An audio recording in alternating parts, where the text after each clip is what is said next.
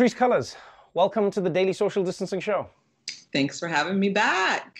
As, as one of the founders of Black Lives Matter as we know it, you are no stranger to just the huge amounts of pushback any slogan can get. And so when you when you came out with defund the police, more recently you have started talking more about divesting from the police. Is there a reason that you changed or are starting to move away from defund to divest? And how does that tie into the Breathe Act that I believe you're working on?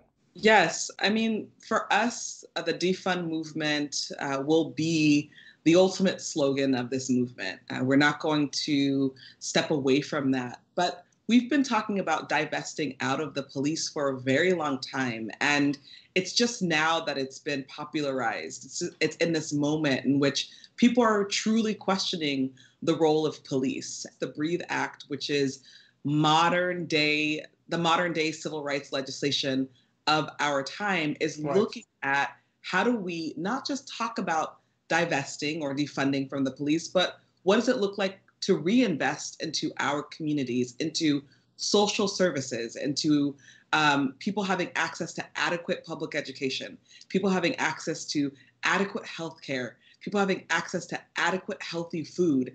Let's stop divesting, let's stop investing all of our dollars into the police and the criminal legal system, and let's actually invest into into human care, into dignity, into the into life for human beings. I have done extensive reading on, you know, reforming the police. I've done extensive reading on uh, divesting from the police, defunding the police, all these different measures that people have have have proposed in different ways.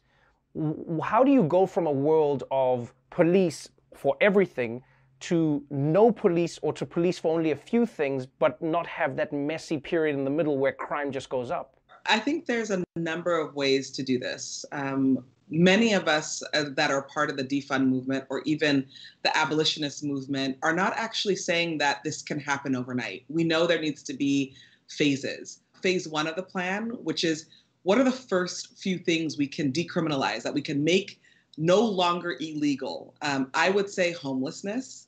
Um, I would say drug and alcohol addiction, mm-hmm. um, and I would say mental health um, crisis.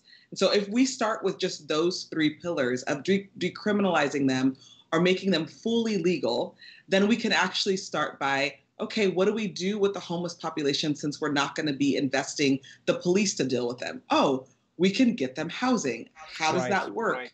But I would really push that this is where elected officials come in. Congress, Senate, our local elected city council, county board of supervisors must work with the community to build a plan to phase us out of over policing.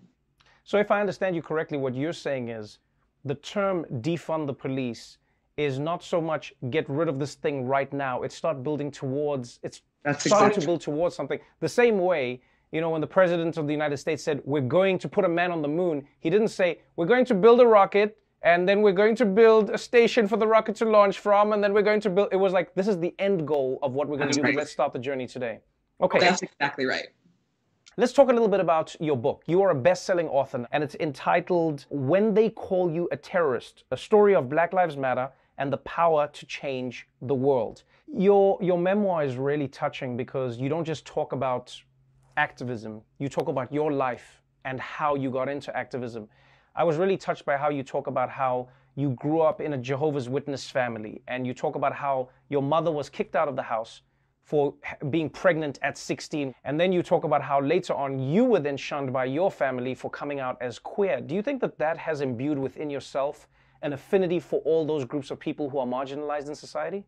Absolutely. I feel deeply connected to, uh, say, the underdog, to marginalized communities because I lived it firsthand as a young person growing up in a working class poor family witnessing my single mom have to really be a single mother mm-hmm. and not get the support um, not just from her family but also not get the support from the state uh, for the government um, and witnessing my my my father and my brother be in and out of prison um, i think that really impacted me both personally but once I became an activist, I realized, oh, this is a much bigger system, and I can shape that system, and I can be a part of a movement that shapes that system.